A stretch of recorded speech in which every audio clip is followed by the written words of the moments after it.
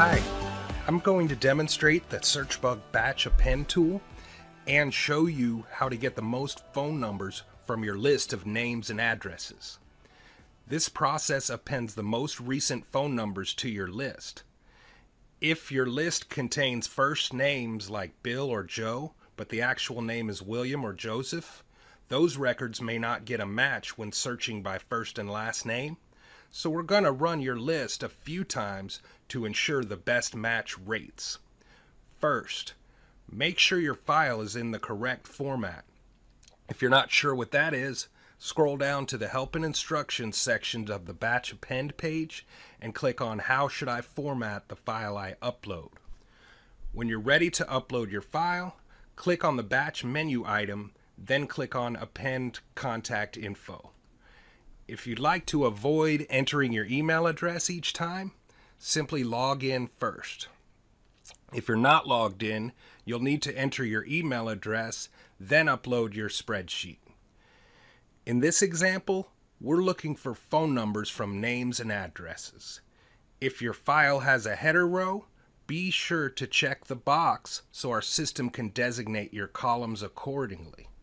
You'll still want to make sure all columns are identified properly as your file may have some columns our system doesn't recognize or need. Let's select the standard append for our first search. This time we're looking for phone numbers from a person's full name. While we say full name, we still need their first and last name in different columns. Then scroll down and click Process My Data. Once your file is complete, you will get an email notification that your file is ready, so be sure to whitelist searchbug.com with your email provider. That way you won't miss it.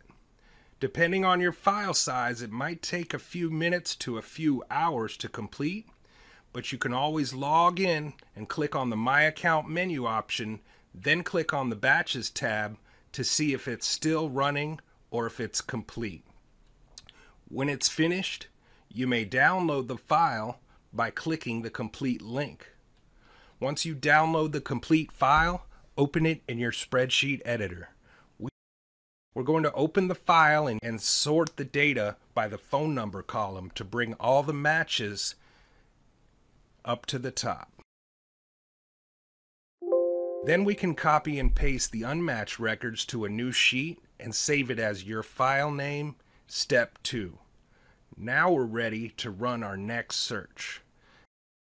This time we're going to run the same process except we're only going to search by last name and address in case someone else in the home has the phone listed in their name, or if the name you submitted was Bill or Joe and we have it listed under William or Joseph.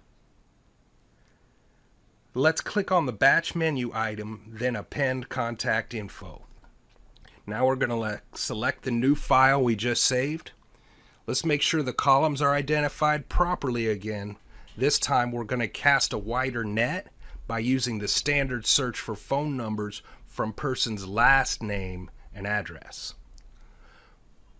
Once this second batch is complete, we're going to download the results from the batch dashboard. Then open it.